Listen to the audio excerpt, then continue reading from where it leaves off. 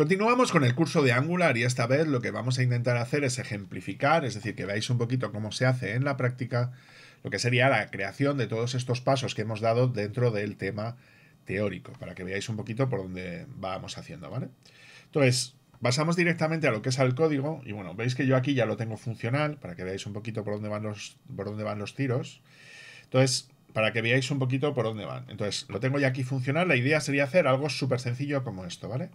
Que sería colocar directamente un campo con un botón de submit y un botón de reset, donde yo voy rellenando los, los diferentes datos, veis que se van actualizando los diferentes valores de los estados tanto del campo como del formulario que nosotros estamos manejando, ¿vale? Y si yo lo dejo vacío, veis que en este caso aparecería aquí directamente un mensaje como diciendo que algo ha fallado o que algo no está funcionando del todo bien, ¿vale?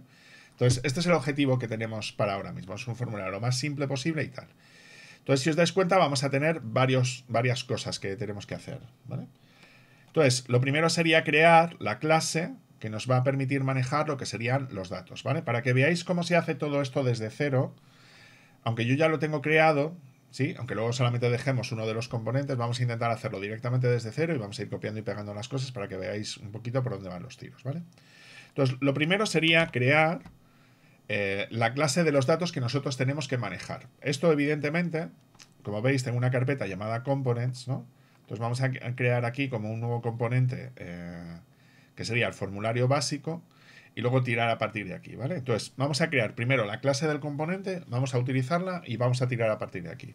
Entonces, esto sería ng generate component, esto sería components, que es el nombre de la carpeta que yo tengo creado en este caso, sería barra y le vamos a dar el nombre del componente que yo quiero crear. Será for básico, ¿vale?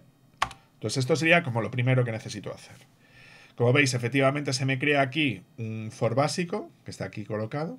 Evidentemente debería haberme modificado el, módulo, ¿vale? Para meterme este for básico component aquí, y esto ya lo tendríamos más o menos hecho.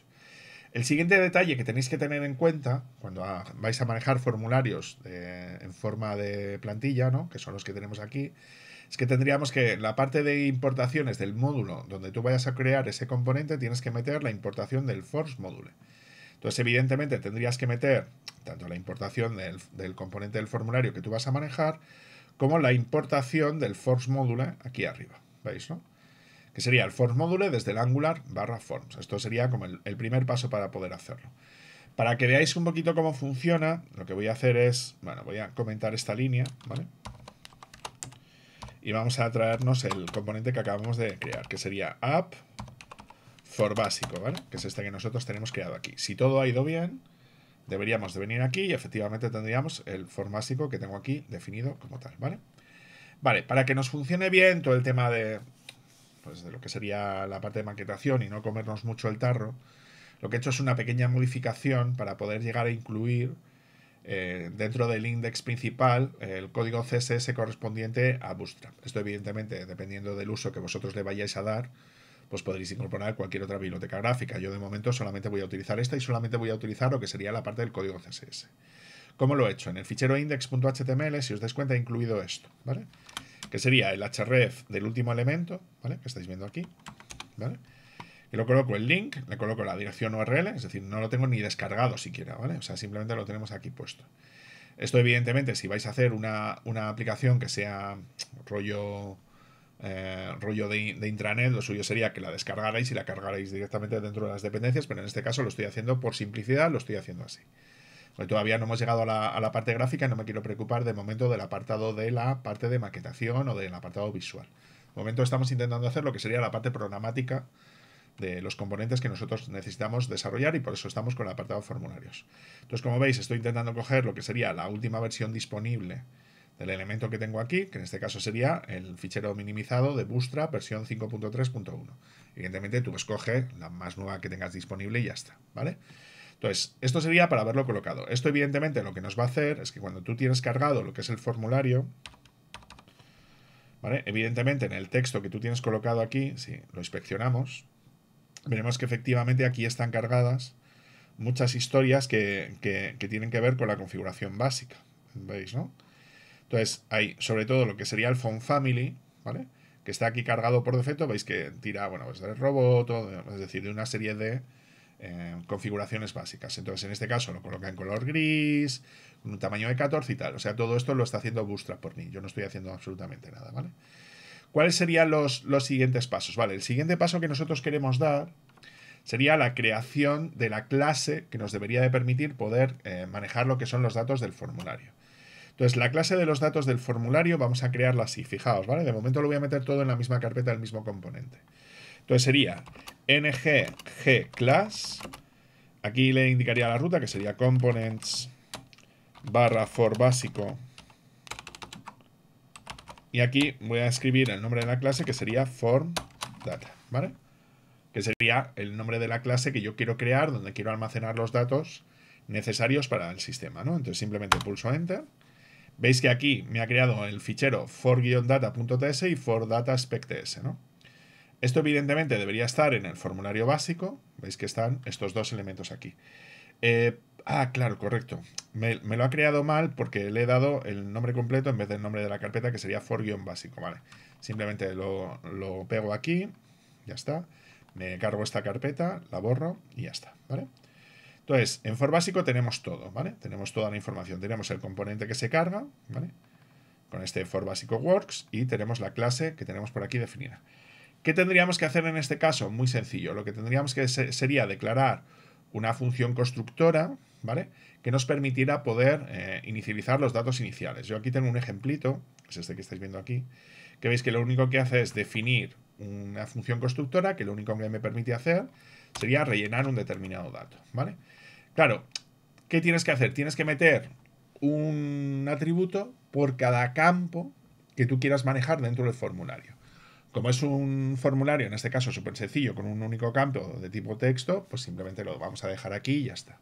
Luego haremos una pequeña modificación para ir añadiendo datos al formulario, ir añadiendo nuevos campos al formulario para que veáis un poco cómo van variando las cosas y cómo vamos necesitando para poder estructurar lo que es la, información. Pero bueno, con esto lo tendríamos más o menos hecho.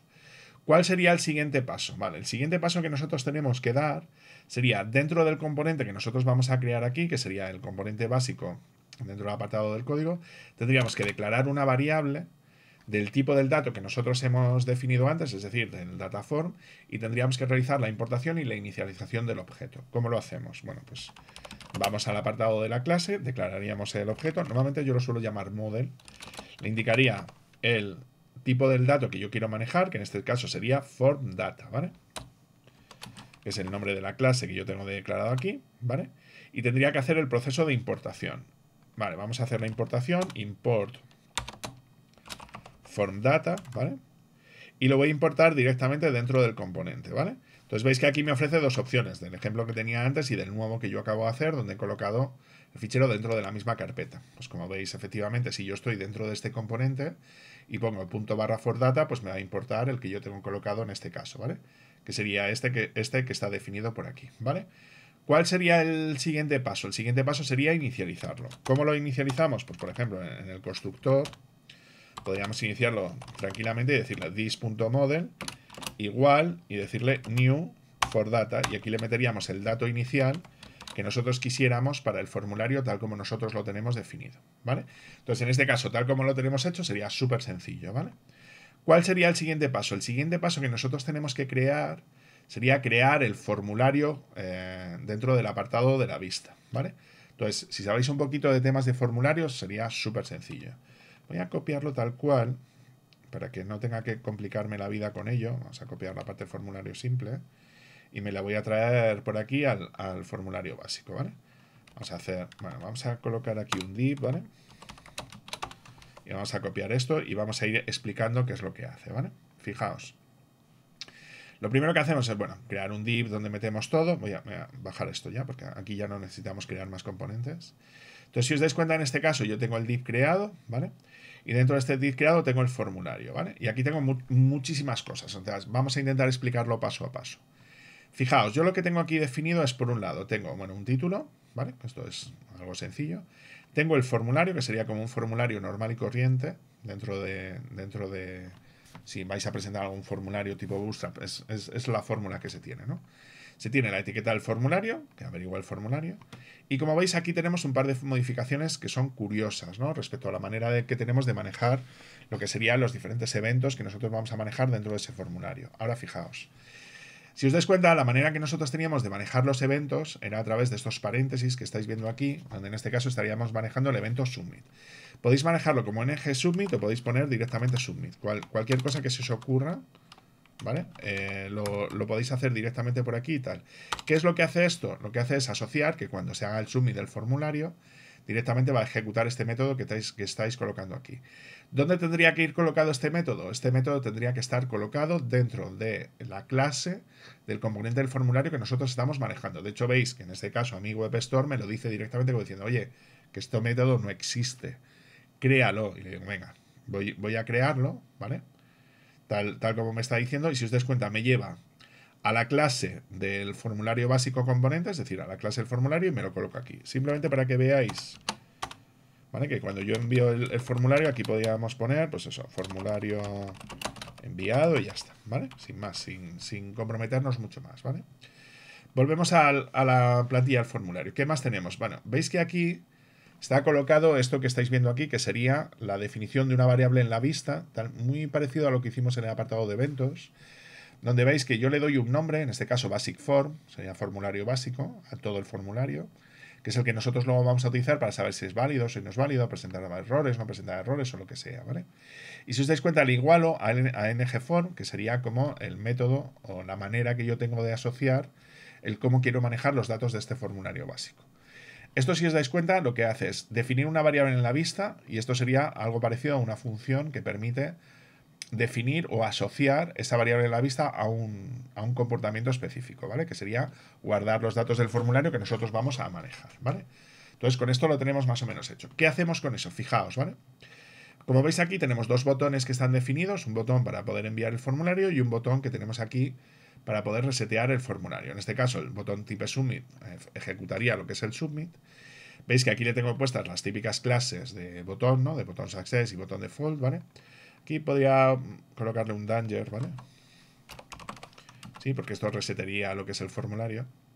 Y veis que lo que tengo puesto es una propiedad, que es una directiva, que en este caso es disable, es decir, me va a intentar deshabilitar el formulario. ¿Cómo va a funcionar? Pues debería de deshabilitar el, formulario cuando se cumpla la condición que yo le tengo puesta. Es decir, en este caso se deshabilitaría el formulario cuando, veis aquí, ¿no? Cuando nuestro formulario for valid, ¿vale? No sea válido, es decir, que sea inválido. Es decir, debería deshabilitarlo cuando el formulario es inválido. Para poder simplificar esto podría ser así. Un valid, ¿vale? ¿Vale? Tenemos valid. Y aquí tendríamos que tener también un valid, ¿vale?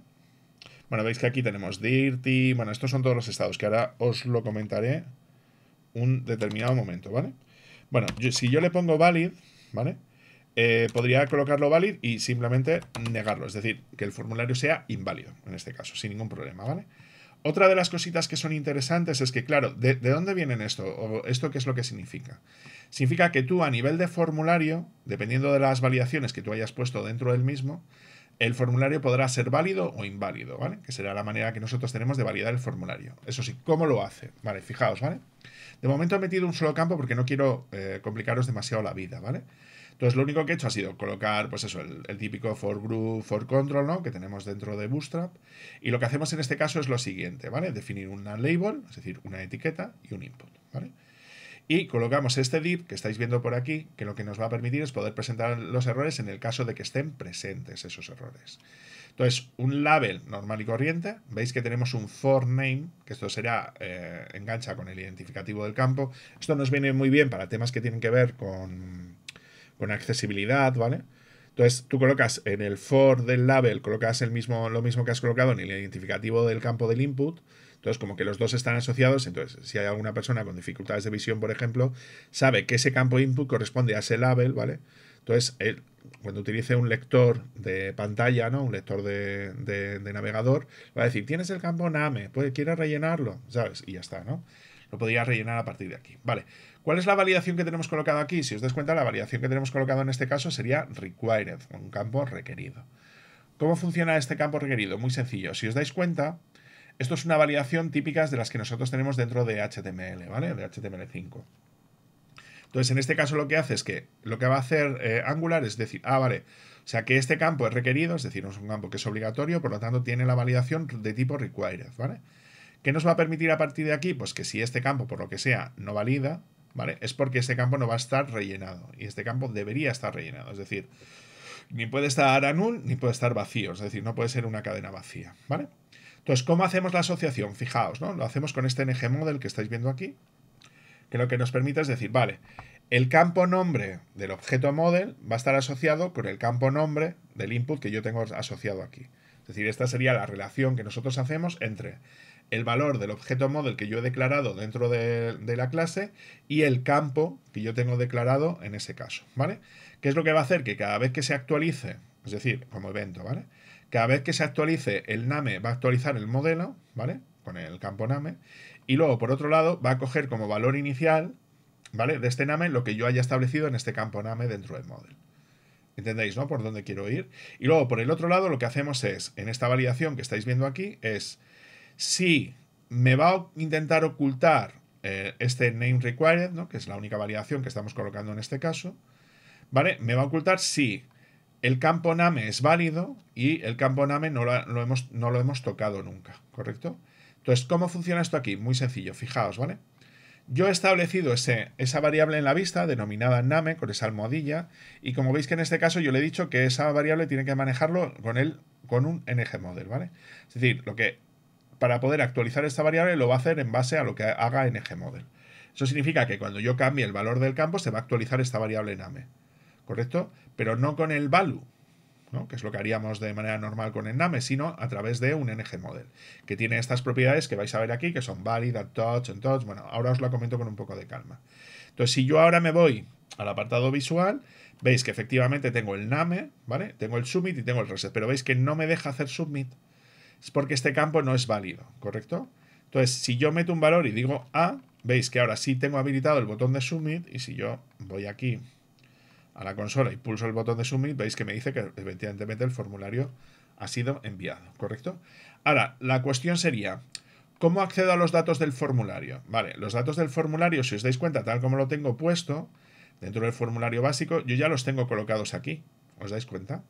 Entonces yo debería de ser capaz de poder acceder a los datos del formulario. Entonces si yo hago un console.log de los datos del formulario, es decir, del, modelo, de this.model, fijaos lo que sucede, ¿vale? Si yo hago A y doy al botón de Submit, veis que me aparece un objeto de tipo forData, del mismo tipo que yo he añadido en este caso, y a partir de aquí yo ya lo tendría más o menos hecho, ya lo tendría más o menos marcado.